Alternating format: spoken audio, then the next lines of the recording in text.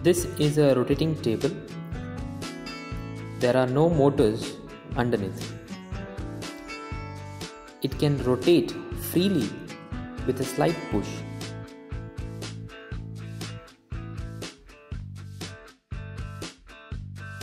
When I stand on this rotating table, the axis of rotation is perpendicular to the ground.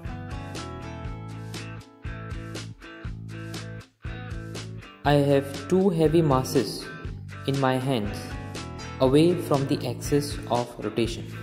By changing the position of these heavy masses from the axis of rotation, I can change my rotational speed, that is, the angular velocity, without any external help.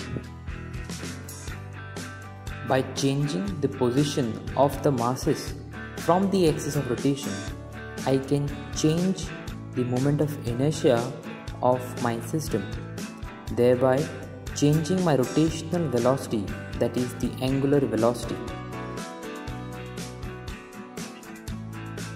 When the masses are away from the axis of rotation, you will see that the rotational velocity decreases and when the masses are closer to the axis of rotation, the rotational velocity increases. From the equation of conservation law of angular momentum, L equals to I omega, we can clearly see that moment of inertia I is inversely proportional to angular velocity.